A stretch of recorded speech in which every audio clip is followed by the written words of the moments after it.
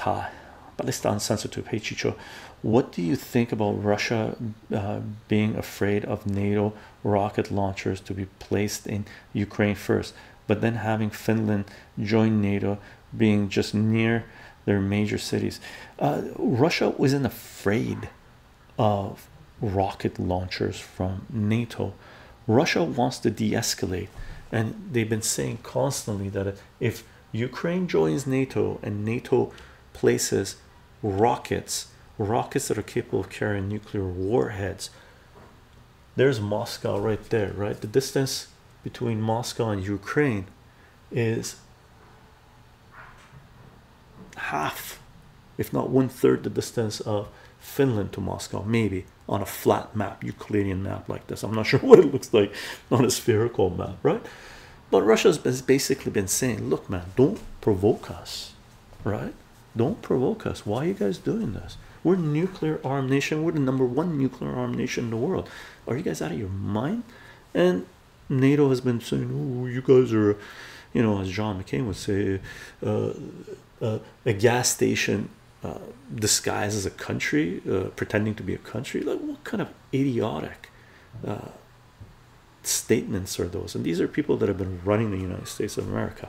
So we can't use words like this where Russia is afraid NATO will place rockets. No, Russia's not afraid. Russia just doesn't want to go to nuclear war because that's what it'll mean, right? Remember, Ukraine in the last year has been attacking Russian radar sites, the radar sites that they use to detect nuclear warheads coming their way. Why in the world is Ukraine doing this? Russia has stated that if any country decides to take out the radar sites that we use to detect a nuclear strike on Russia, we'll consider that a nuclear strike and we will respond in kind. So, why in the world is Ukraine doing that?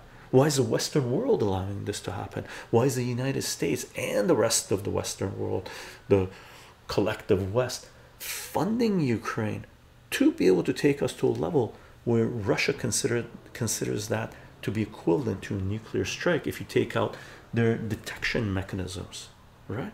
And they want to put missiles in Ukraine that are capable of carrying nuclear warhead while taking out the radar sites that detect nuclear missiles being launched. What would you do? What would you do? Right? Are you afraid of their missiles? No. You just don't want to push it that far. Have you ever got into a confrontation with someone and you say, Hey man, stop, don't push. I don't want to fight. I don't want to fight. And they keep on pushing. Have you ever got into that situation? I have, right? It's not that I was afraid of them, it's that I didn't want to go that far. A couple of times I had to go that far. With one person, I played soccer with their balls, and another person, I played soccer with their head, right? Did that mean I was afraid of them? No, it's just that I didn't want to go there. That ruined my day, right? Russia doesn't want to ruin their day and the process blow up the world. Okay.